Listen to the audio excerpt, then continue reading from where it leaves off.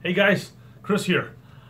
Today I want to talk a little about motivation, staying motivated for fitness. It's a big issue with a lot of people. Many people start off with tons of enthusiasm. They they can't wait to get going and you know each workout for the first month or so they're they're really excited, okay?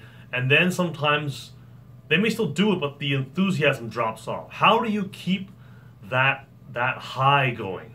Okay, I mean, I've been doing this for so so many years now, and how do I still keep the same enthusiasm that, that I did years ago? You know, almost thirty years ago. Okay, and the thing is, it's it's funny, but the the more you try to do something, or the more you the more tension you have in trying to get something done, uh, the less likely you'll be able to do it. All right, now um, that may sound kind of okay. Let me explain what I mean there. Okay, if you look at a punch, for example, okay, I'm in, into martial arts stuff here.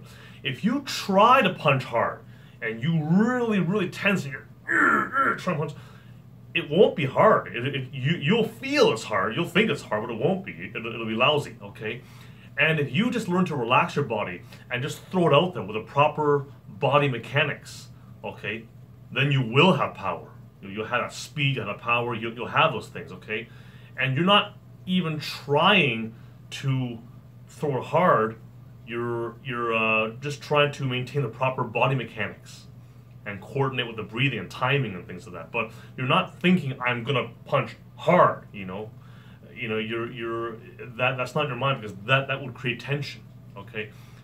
So fitness, if you if you have if you're over enthusiastic and you think about it so much and uh, you're obsessing over it, okay, you won't last, okay? The best thing that you can do is to just make it a part of your life. Don't obsess over it and don't think this is the greatest thing that's ever happened to me.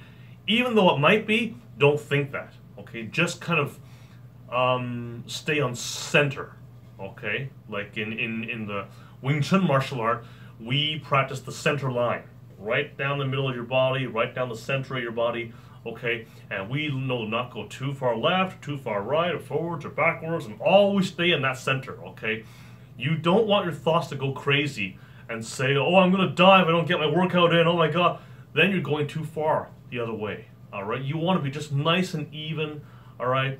And make it a part of your life, but don't obsess over it. Don't want, you want, you, you want, you, you have to want it, but you don't want it, you, you don't want to have a feeling of wanting it too badly, okay? Because then you won't last, all right?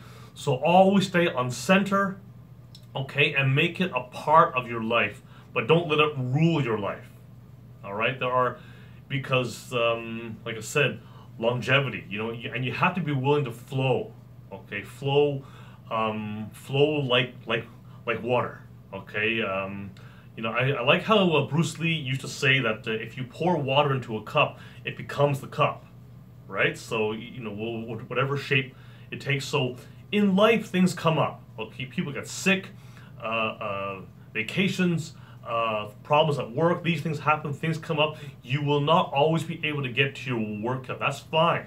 You go with it. And then, if that's the case, you can just focus on your breathing and doing other things, other more laid back things, okay?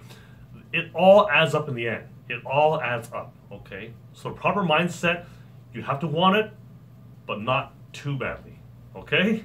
So I hope that uh, makes sense. I hope uh, you can uh, use that advice to help stay motivated for the long term, okay? So thanks. If you like this video and you want to see some more of it, please subscribe to my YouTube channel, Chris Wong Fitness, my website, www.chriswongfitness.com, and on Instagram and on uh, Facebook. I am in Home Trainer Oakville. Okay, so thanks, guys. Talk to you soon.